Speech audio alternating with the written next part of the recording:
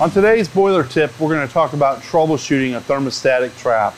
Now this particular model thermostatic trap modulates, which can make it kind of difficult to troubleshoot because we don't get audible cues like we would on a thermodynamic trap.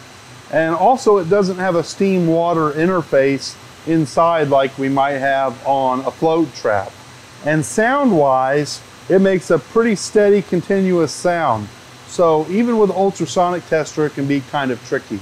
So one way that we can troubleshoot this is with temperature on the inlet. Because we know the thermostatic traps subcool or force the condensate to cool below the condensation temperature of the steam, we should see a lower temperature on the body of the trap than we see shortly upstream where we've got steam.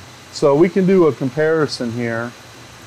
I've got about 220 degrees on the body of the trap.